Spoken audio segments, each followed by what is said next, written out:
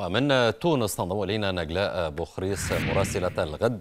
تفاصيل جديد الأوضاع لديكم على الأرض نجلاء. وأيضا كيف كان صدى تصريحات الغنوشي في تصريحات صحفية لصحف إيطالية بأنه في حال لم تستعد تونس ديمقراطياتها انه الأوضاع ستخرج عن السيطرة وسيكون هناك مزيد من العنف؟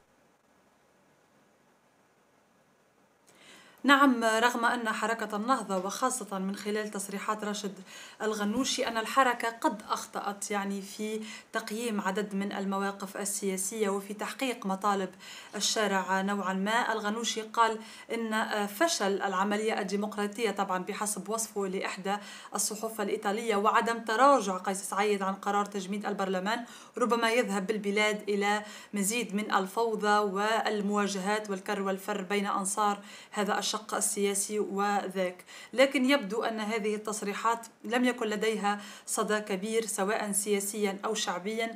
اليوم هناك هبة شعبية لمساندة قرار الرئيس قيس سعيد طيب كيف يفهم هذا التناقض نجلاء يعني؟ بالأمس يقول ويعترف قيس عفوا راشد الغنوشي بأنه كان هناك أخطاء وحركة النهضة متحملة مسؤولية وأن قرارات الرئيس دستورية ولا تخالف الدستور. واليوم يقول ويرهن عودة العنف أو حدوث عنف على الأرض بعودة القرارات أو عودة الرئيس عن قراراته. هذا يدل على حالة التخبط التي باتت تعيشها حركة النهضة. اليوم حركة النهضة تشهد حالة من التخبط من يعني عدم وضوح الرؤية السياسية. أمامها هناك اجتماعات مغلقة بحسب بعض الكواليس التي تصلنا اجتماعات حول الخيارات الممكنة أمام الحركة.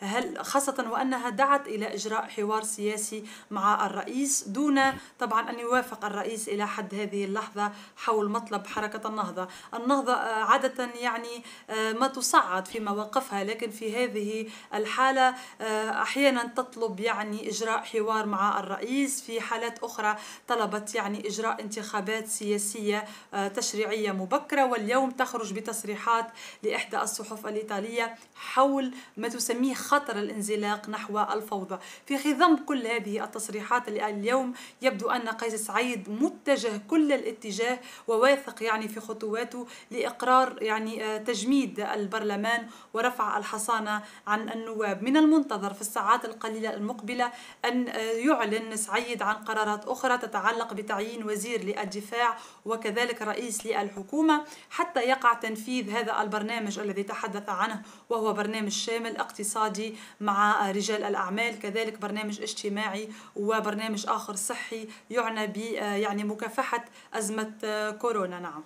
شكرا جزيلا نجلاء بوخريس مراسلة الغد من تونس.